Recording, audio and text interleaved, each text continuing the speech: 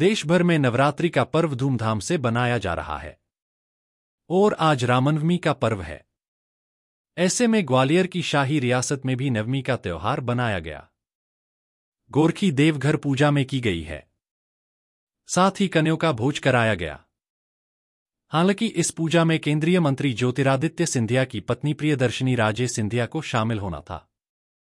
लेकिन पारिवारिक कारणों से वो शामिल नहीं हुई। बल्कि उनकी प्रतिनिधि के बतौर राजपुरोहित परिवार के प्रतिनिधियों ने नवमी का पूजन और कन्या भोज कराया है। सिंधिया परिवार के राजपुरोहित चंद्रकांत शिंदे के मुताबिक इस वर्ष महारानी माधवीराजे सिंधिया यानी कि ज्योतिरादित्य सिंधिया की माँ का निधन हो गया था। इसलिए सिंधिया परिवार दशहरा के पर्व को सार्वजनिक रूप से बड़े स्तर पर नहीं माना रहा है।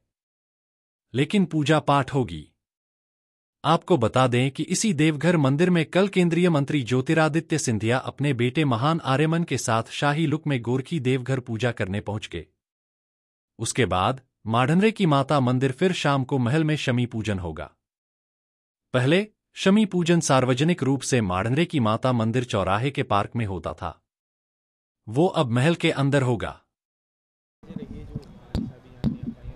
नहीं इस साल राजमाता के कारण जो है वो सब शॉर्ट में हो रहा है। शॉर्ट में यानी केवल धार्मिक कार्य हो रहा है, पब्लिक कार्यक्रम नहीं हो रहा है। नहीं।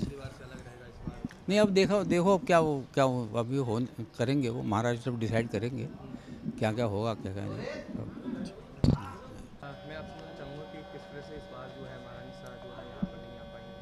हाँ उनका कुछ कारण होगा, इसके लिए नहीं आएँगे किस तरह पूजा अर्चना की गई है ये यानी हमेशा जैसे पारंपरिक पूजा होती है, आज की नवरात्र की समाप्ति रहती है। आज कन्याओं का भोजन, सुहासिनी का भोजन, उसके बाद में और भी भोजन रहता है यहाँ के लोगों का। और आज नवरात्र समाप्ति हो गई है। अब शाम को इनके पारंपरिक जो गोंधड़ वगैरह होता है, वो सब होगा। कल महाराज दशहरे का पूजन करेंगे। उसके बाद में जो है, दशहरा पूजन के बाद सब छत्रियों में दर्शन के लिए जाएँगे। और उसके बाद में मांडे की देवी, फिर अम्मा महाराज की छतरी पे जाके माधव महाराज को नमस्कार करके वगैरह। बाद में जो है, ये तो पर, कम से कम 200 साल पुरानी तो है ही। हाँ तो ये शॉर्ट में है। हाँ उसका, यानी धार्मिक केवल कार्यक्रम है, उसका जो लोको, लोकोपचार नहीं है, यानी जो है पब्लिक वाला कार्यक्रम नहीं है आपकी।